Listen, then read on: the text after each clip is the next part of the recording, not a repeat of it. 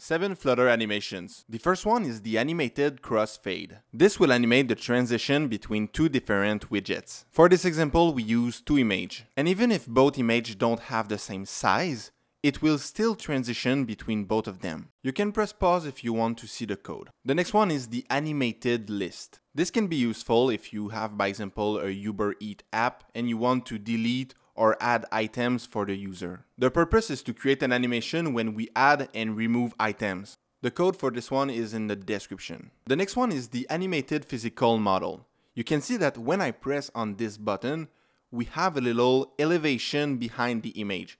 And this is the physical model. If you want to add this, I will show you the code for two seconds.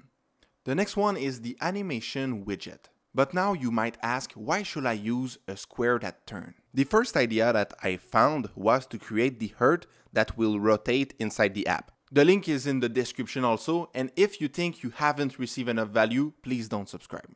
The next one is the fade transition. The goal of this animation is to make appear and disappear any widget. For this one, I have used the Flutter logo to show you the transition. I will show you the code for 2 seconds. In the previous video about 7 animation with Flutter, you seem to have more interest into the transition overview. This is why I show you the code for 2 seconds. Let me know if you prefer this in the comment section. The next animation is the scale transition. And it's not just for image, you can do this for any widget. The code for the scale transition is a little bit more complex. Pause if you want to see it once again. This Flutter animation is called the slide transition, and I use the curve elastic in out to make the rebound effect. The link is in the description. In the next video, I will try to teach Alexa how to build a mobile app. And